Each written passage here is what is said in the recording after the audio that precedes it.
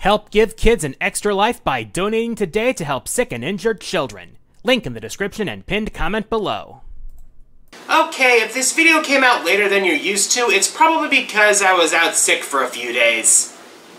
Merry Sickmas, everybody.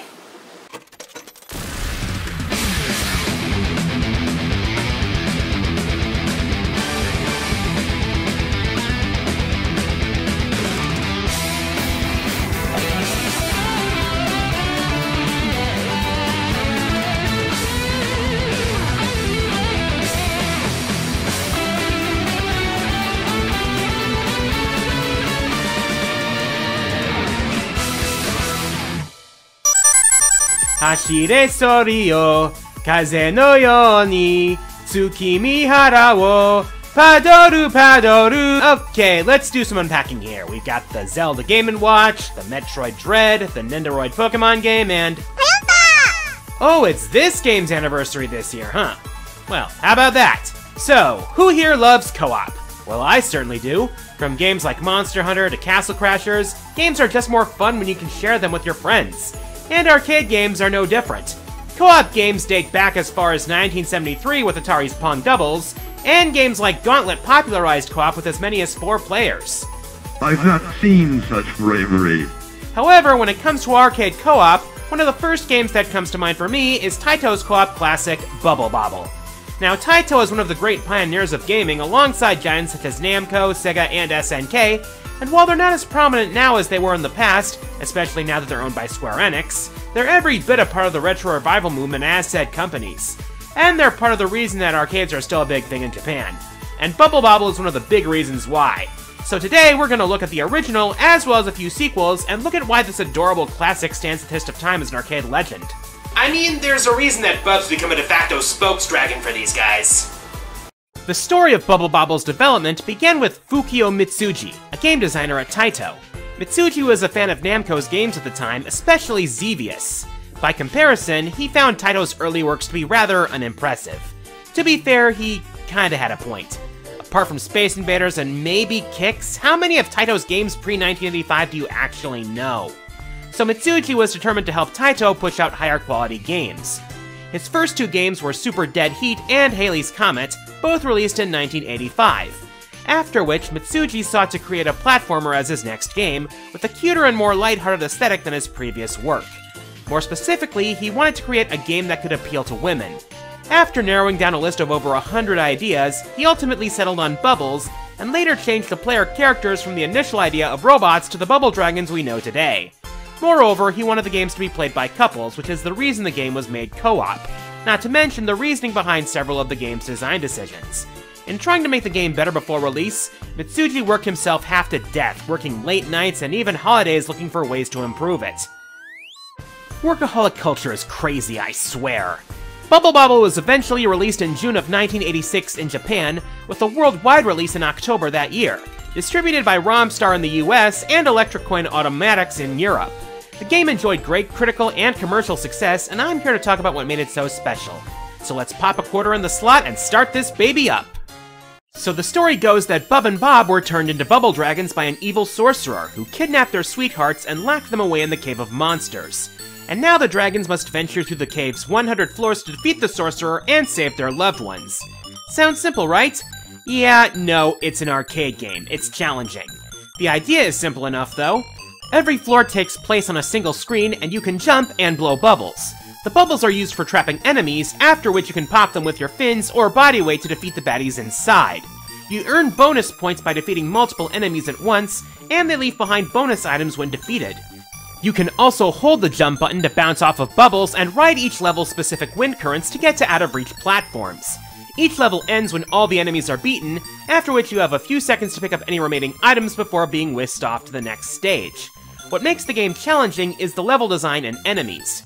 Enemies come in all sorts, from enemies that simply walk, fly, or bounce around the room, to enemies that fire rocks, fireballs, or even lasers. There are even callbacks to past Taito games. One of the enemies comes straight from Space Invaders, and a couple of other enemies come from a game called Chack'n Pop that Taito released a few years earlier. Also, be sure not to loiter in a level, because loitering in the Cave of Monsters will have you dealing with this game's equivalent to a security guard. This is Baron von Blubba. He shows up if you take too long, is completely invincible, and will pursue you until you either complete the level or get killed. This guy scared the shit out of me when I was a kid. My childhood was embarrassing. Of course, the game doesn't exactly leave you helpless. Far from it, in fact. First off, aside from the obligatory points for lives, the game meets out a wide assortment of items, from enhancements to your speed and bubbles, to screen clearing items, to pickups that let you skip levels, and more. There are also elemental bubbles which can defeat enemies with lightning, water, and fire. They can affect you, but they can't kill you. What this game also did was reward expert play, in a few ways in fact. Defeating multiple enemies could make a lettered bubble appear, and collecting all the letters of the word extend gave you an extra life. And especially good players who reached certain levels without dying could enter a secret door. Now, where's that one clip from Foster's when you need it, huh? And all these rooms have secret codes that give hints as to how to get the good ending. This was one of the first games to include multiple endings depending on how you play. See, at the bottom floor is the game's boss, Grumple Gromit, or as he's called in Japan, Super Drunk. To beat him, you need to grab the potion that lets you blow lightning bubbles. By the way,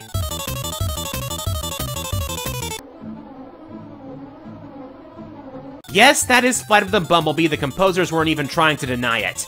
So once you beat the boss, you've won, right? Yeah, no. If you go it alone, you get a message telling you to come back with a friend. The game wasn't just designed for couples to play, it was meant for couples to complete. To get the good ending, you just need to have both players on screen when the boss is beaten. Then you return to normal, save your sweeties, and roll credits. And then get a code for the super mode, which changes the enemies around and is overall more challenging. Beat that with two players to get the true ending, in which it's revealed that their parents were caught up in all this too. Keys, that last twist is surprisingly dark.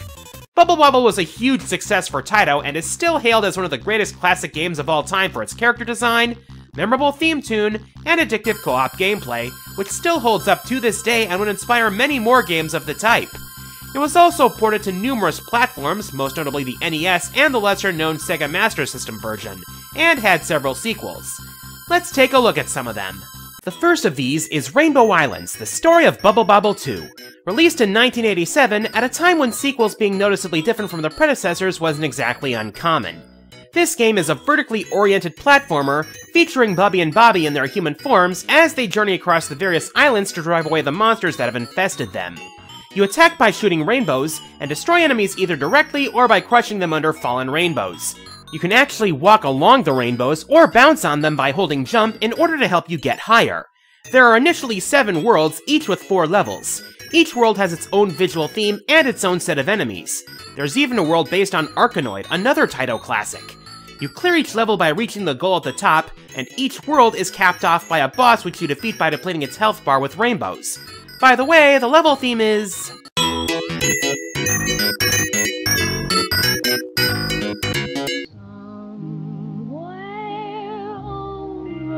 Um, Taito MGM called. They want their royalties. Like the original, there are plenty of items that help you, and like Bubble Bobble, you gotta put in some extra work to reach the true ending. Normally, at the end of World 7, you reach a fake ending, where it's revealed that the so-called Boss of Shadow captured the people of the islands and turned them into bubble dragons. In order to reach him, first you must get the seven big diamonds from the seven islands. You do this by collecting seven small diamonds from enemies with rainbows from above them. So what? I gotta rely on luck? That is bullshit! Actually, that's not quite true. It may seem random, but the color of the diamond actually depends on where an enemy lands when defeated, so it comes down to precision rather than luck. In fact, if you get all of them in order, you'll unlock a secret door with a permanent power-up. So, once you get all seven big diamonds, three more islands appear. The first is based on the Fairyland story, a game from 1985, the second is based on the shmup series Darius, and the final world is based on Bubble Bobble itself. Love the attention to detail here! This time, the small diamonds give you mirrors, which you also need to get the true ending. As for the boss of Shadow, it's a giant bubble dragon. Oh, wait, no. Its true form is a giant Baron von Blubba. And once you defeat him with the three mirrors, you restore everyone to normal and get a hero celebration. While Rainbow Islands is often overshadowed by its predecessor, it still holds up and is a worthy sequel. It's vibrant, with colorful graphics and great sound design, and its gameplay has a surprising amount of depth. However, I will say thank goodness for home versions and ports, because those allow you to understand the game without the constraints of your pockets. Next up is a bit of a special case. Parasol Stars, the story of Bubble Bobble 3. I call this a special case because this was actually never released in arcades. It was originally released on the terribly underrated TurboGrafx 16. There were rumors of arcade prototypes existing, but those were never confirmed. The game was released in 1991, published by Working Designs in America. Despite being a direct sequel to Rainbow Islands, it plays more like the original Bubble Bobble, being a clear all the enemies platformer. This time, you use magic parasols. You can stun smaller enemies by touching them with your parasol, and then throw them into other enemies. And unlike Rainbow Islands, which dropped co-op for reasons I can only assume are related to the vertical nature of the game, co-op returns here. And of course, the levels are still vibrant with catchy music and colorful graphics. Not to mention, it's fun to toss things around, especially when you uncover hidden score items. In fact, by throwing them along the same lines on the screen, you uncover gradually more valuable items up to an extra continue. Big help there. Of greater importance in this game are the drops. They contain elemental powers that are unleashed when you gather 5 of them on top of your parasol. If you do this twice in the same level, a panel of that element will appear on the next one. Collecting 3 stuns all the enemies on screen. Collect 3 of the same element, and like in Rainbow Islands, you'll find a secret door after you beat the boss. Speaking of the bosses...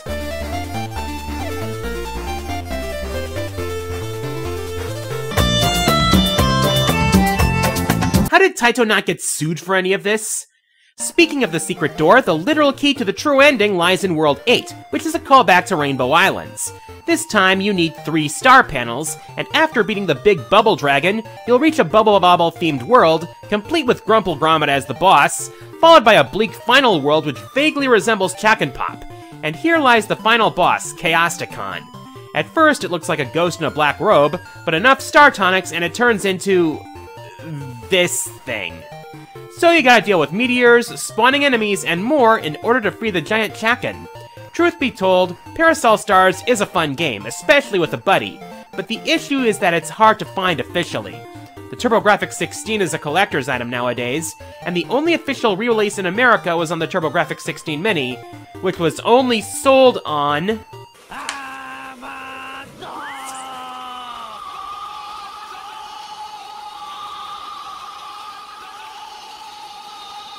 Okay, two more games to go in this brief history, and these sequels are more akin to the original.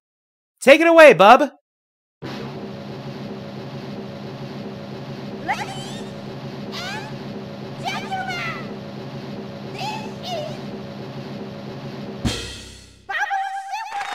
Bubble Symphony, also known as Bubble Bobble 2, was released in 1994 on Taito's F3 system arcade board, and went back to the gameplay style of the original with a couple new elements.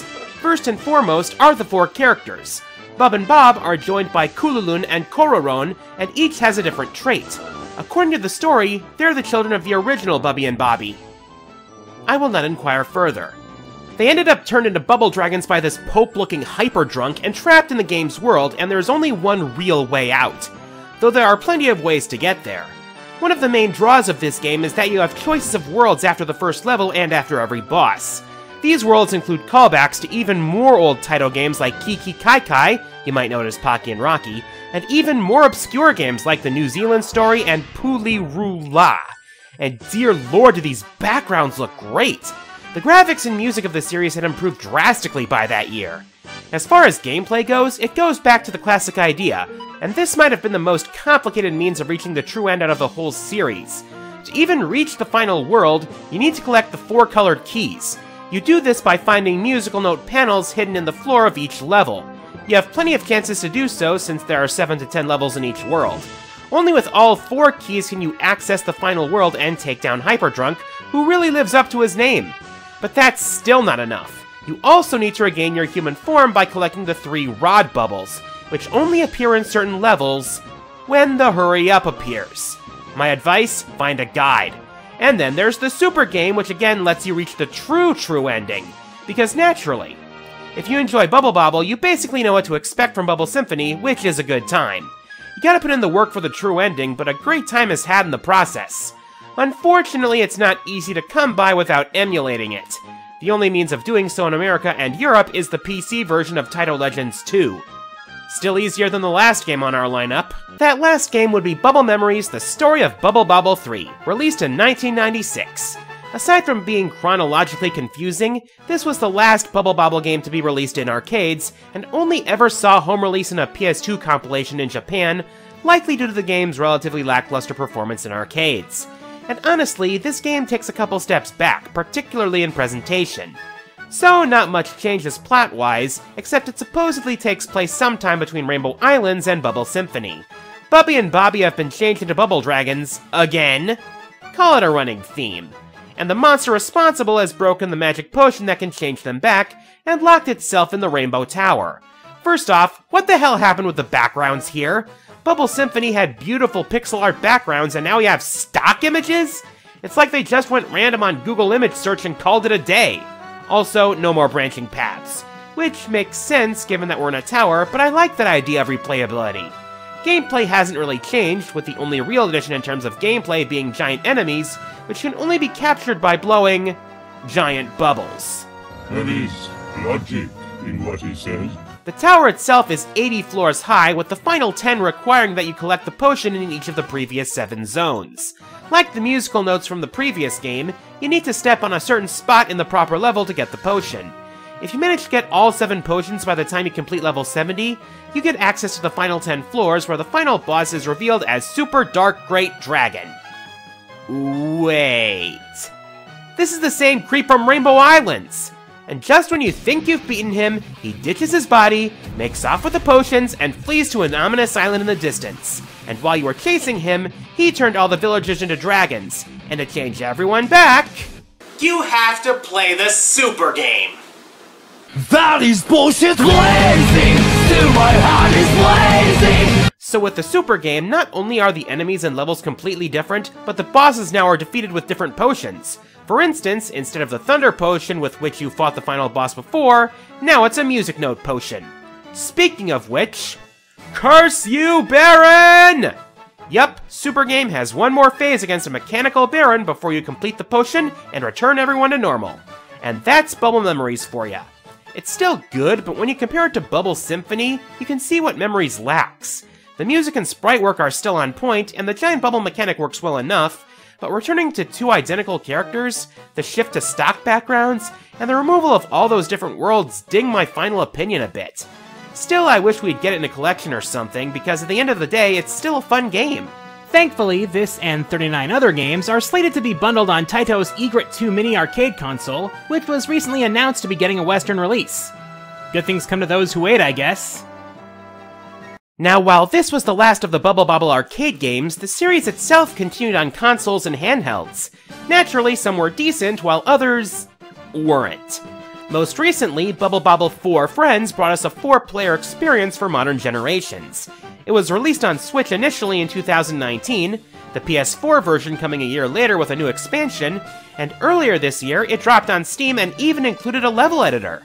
Honestly, the fact that we've gotten a new game in this series with the same classic gameplay just shows how timeless the formula of the original Bubble Bobble is. It's a perfect example of co-op from the golden age of arcades, and it's destined to be remembered for years to come.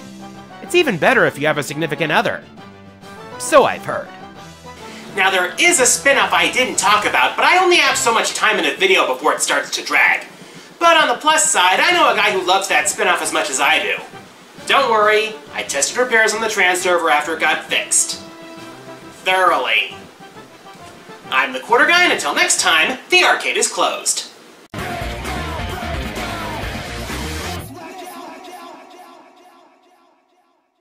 Alright, let's talk about your weapon. Your handle construction gives me a good grip, and I can easily tell where the edge is. Now, let's talk about your edge. It is razor sharp. Every thrust penetrates deep and lacerates on the way out, and every slash cuts easily into this wild boar carcass. Overall, sir, your weapon? It will heal. Next time, top 10 video game swords. It's game time! Hey everyone, QG here. If you enjoyed the video, please like, subscribe, leave a comment, and share the video around. Feel free to check out my Twitter and my Twitch streams, and consider supporting me through Patreon and donating to my Extra Life campaign to support Children's Wisconsin. Thanks for watching.